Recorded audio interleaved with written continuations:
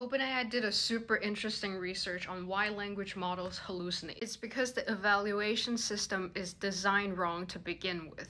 It's rewarding guessing over saying I don't know. For example, like this question, how many apples are there? The correct answer is 3, but if you don't answer 3, you don't get a point. Answering anything wrong and I don't know is 0 point. So you're encouraging them to guess an answer which is like 25%. This is how you train a good tester, not a good reasoning model. In order to solve hallucination once and for all, the evaluation system needs to be updated. So the new metric should factor in how confident the LLMs are in answering this.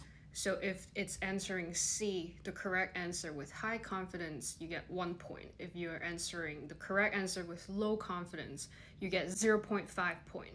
If you answer I don't know, you also get partially rewarded 0.5 points.